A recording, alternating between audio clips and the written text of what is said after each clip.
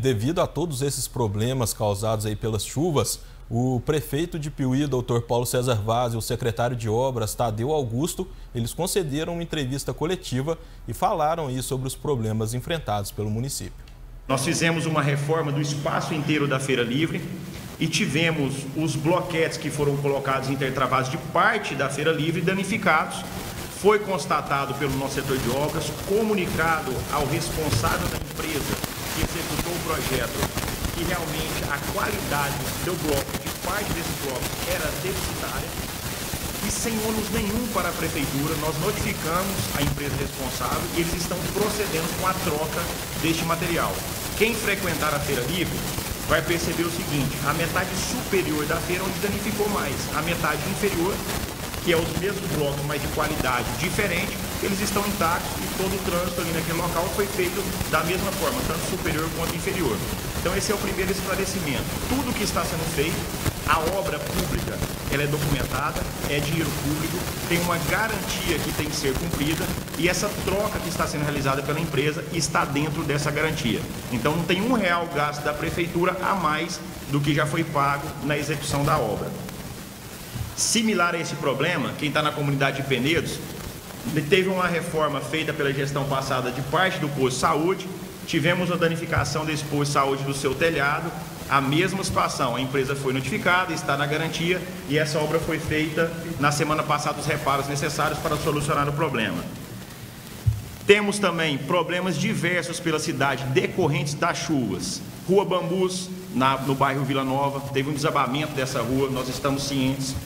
Tivemos problema ontem ali na Querubino Mourão Filho, próximo à rotatória da Mãe Carinho, parte do asfalto quem desce ali, chegando na rotatória Mãe Carinho, ele foi danificado. Ontem mesmo, na noite, nós pedimos o pessoal da prefeitura para fazer uma limpeza nesse local. Será reposto o asfalto tão logo o tempo permitir, porque quando é um espaço maior, nós temos que buscar um asfalto que é o asfalto quente. Então ele vem de outra cidade que é de Arcos, nós preparamos o local para aplicar esse asfalto.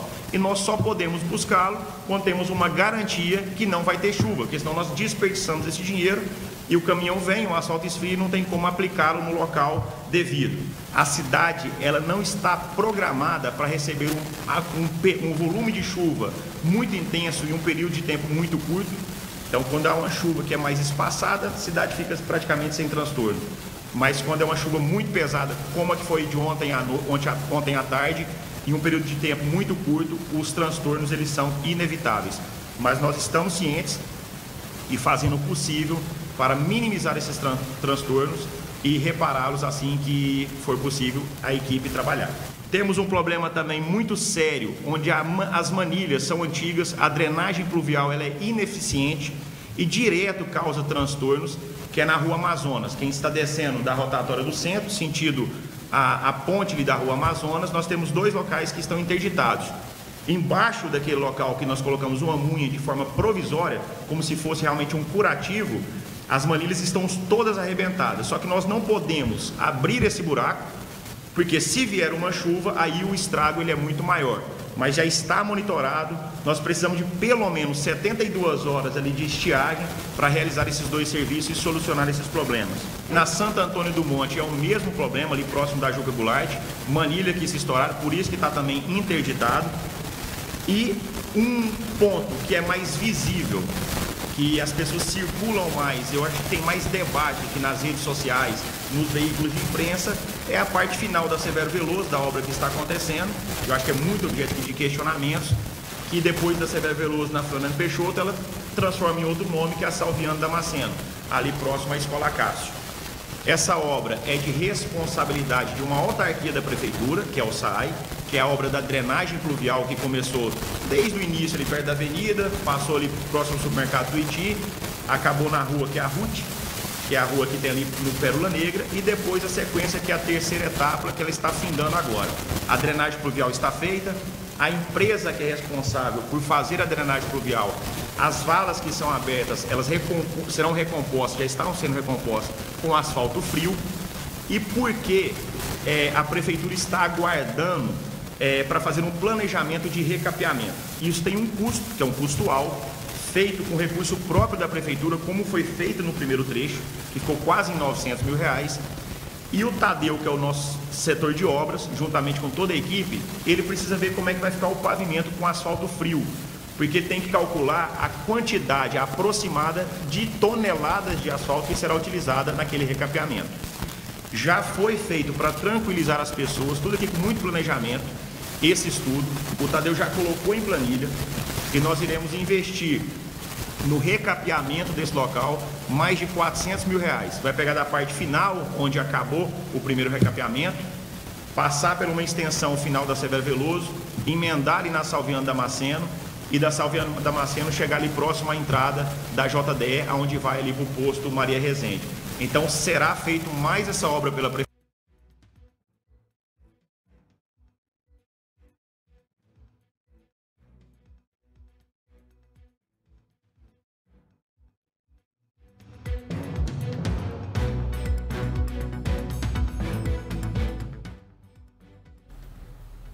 Bem, o prefeito falou também sobre o planejamento para a gestão em 2023.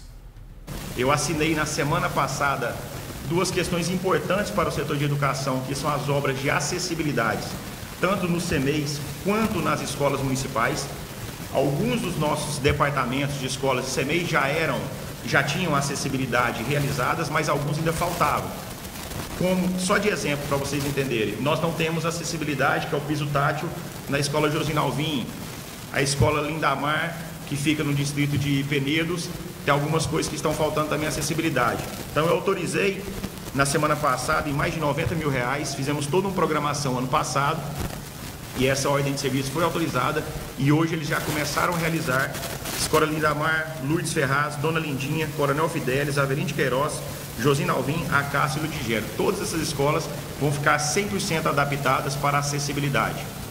Autorizei também, já está em execução, junto com o nosso setor de obras, a acessibilidade mais dois prédios públicos, que é o prédio Centro Administrativo Tatatumé, o antigo fórum, está instalando neste momento lá uma plataforma elevatória, do primeiro para o segundo pavimento, e também está autorizado já em execução a acessibilidade do nosso cinema, que funciona ali próximo da Casa da Cultura. Então, mais 130 mil reais investidos nesses dois locais. E hoje, aqui em primeira mão para vocês, nós também estamos autorizando, fizemos todo o planejamento, junto com o nosso setor de obras, junto também com a Secretaria de Educação, quem eu estive reunido hoje cedo, que é a Vanilda, algumas reformas e ampliações das nossas escolas e dos nossos CMEs. Fizemos um estudo de todos os locais, e essa licitação ficou em mais de 1 milhão e 80 mil reais. Nós iremos liberar, liberando a execução dessas obras aos poucos, assim que nós tivermos as disponibilidades financeiras. Nessa primeira etapa será assinado hoje, nós estaremos autorizando a reforma das escolas Josina Alvim, para as pessoas entenderem, vai ter ampliação de refeitório, pintura de, todas, de toda a escola, Avelin Queiroz, adequação dos banheiros, Semei Reinaldo, André Morão, Coronel Fidelis, por exemplo, vai construir mais uma sala, atender mais alunos, Semei Francisca e o Ludigero, que é toda pintura. Então, cada um com a sua particularidade ao, e vendo a necessidade que é para se fazer nesses locais. Nós... Bem, em decisão unânime, a, o carnaval em 2023 aqui da cidade de Piuí foi cancelado. Mais uma notícia que eu quero dar para vocês, que até agora não foi falado, mas o Tiago, nós sentamos nós dois e o carnaval de Piuí deste ano ele está cancelado. Nós não iremos fazer investimento nessa festividade pública deste ano, justamente até entender qual vai ser o cenário econômico que nós iremos encontrar na prefeitura nesse ano 2023 e 2024, para não deixarmos de cumprirmos compromissos importantes e essenciais e prioritários da nossa administração. Bem, nós questionamos também o prefeito se há a possibilidade de Piuí entrar na lista das cidades mineiras em situação de emergência por causa das chuvas, como é o caso das nossas vizinhas Capitólio, São Roque de Minas e Arcos. Nós não decretamos situação de emergência, mas nós temos, dentro do que eu falei agora há pouco, alguns levantamentos de custos. Nós tivemos aqui um prejuízo para a cidade de Piuí, nós estamos elaborando projetos para reparar esses, esses danos que foram causados. Por exemplo, na rua Bambus, que fica lá na Vila Nova. Nós sentamos com uma pessoa do setor de engenharia, não vai ficar menos que 80, 90 mil reais para fazer aquele reparo. É, o asfalto, quando o caminhão da prefeitura busca um asfalto que ele traga 10 toneladas, ele sai a 647 reais a tonelada para se colocar nos buracos que abrem na cidade. Então, outros locais que tem que ser reparados, Santo Antônio do Monte, Manilha, que você for gastar, o asfalto tem que ser reposto, a mão de obra. Tranquilamente, nós tivemos aqui um prejuízo de mais de 600 mil reais para reparar todos esses estragos que foram feitos pelas chuvas. Mas a cidade, ela continua transitável, as pessoas estão circulando de forma normal, com algumas restrições, né, com as placas de impedidos em alguns locais, então nós não decidimos neste momento decretar alguma situação de emergência, porque nós vimos que apesar dos estragos, não há necessidade ainda nesse momento. Nós sabemos, né, que a nossa cidade vizinha Capitólio, com quem eu quero me solidarizar, né, passou por um problema muito intenso de alagamento já está a draga, né, sendo fazendo a limpeza do canal do Rio Piuí, que interfere diretamente na, nesse alagamento lá na cidade de Capitólio. São Roque também tem uma topografia, um relevo muito mais acidentado do que Piuí, também passando por problemas sérios. Mas nós aqui de Piuí, é, nós ainda não tivemos essa atitude por não ter necessidade, na minha opinião, até a data de hoje, 30 de janeiro. Bem, nós também questionamos sobre a expansão do cemitério e das instalações de iluminação pública em alguns pontos aqui de Piuí. Nós fizemos, isso é uma coisa interessante, é, o ano passado, uma expansão da capacidade de atendimento do nosso cemitério municipal. Então, o cemitério ele tem um estava com a capacidade saturada. Nós temos ali pelos cálculos, né, do nosso setor de obras, do nosso setor aqui de levantamento de dados da prefeitura, da administração, um cemitério com capacidade de comportar né, as pessoas que ali forem sepultadas de pelo menos mais 8 a 10 anos para frente por causa dessa expansão. E na semana passada começou a ser instalado em Piuí um programa que não tem a ver com lâmpadas de LED. É interessante as pessoas entenderem isso. Nós tínhamos aqui na prefeitura, na mão da Letícia, que é um setor de planejamento, algumas pendências em extensão de rede. Então, pessoas que às vezes moram em alguma localidade, estão morando em alguma localidade, tipo o bairro Nova Piuí, tem a casa, tem o asfalto, mas não tem iluminação pública.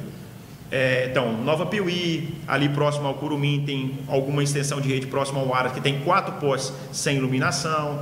O próprio cemitério, como foi falado, a ponte ali do Curumim, que instalou também uma luminária. Então, nós fizemos um planejamento. O ano passado, uma licitação. Os projetos foram, há duas semanas atrás, aprovados pela CEMIG. Tem toda uma burocracia, porque tem a capacidade de carga da CEMIG, então eles têm que autorizar esse projeto. E a empresa vencedora da licitação começou na semana passada a instalar esse programa de extensão de rede. Desde período aqui recente da prefeitura, eu julgo que será o maior programa de extensão de rede do nosso município. Será feito Lagoa dos Martins, Nova Piuí, Morada do Sol, bairro Bela Vista, foi feito no cemitério, ali na ponte do Curumim, muito simples, que é só uma luminária, mas todos os projetos que deram entrada na prefeitura e foram aprovados vão ficar em mais de 850 mil reais de extensão de rede, que nós queremos finalizá-lo até agora, final de março, é, final de abril ou maio, é, se tudo correr de acordo com nossa programação. Bem, 6 horas e 25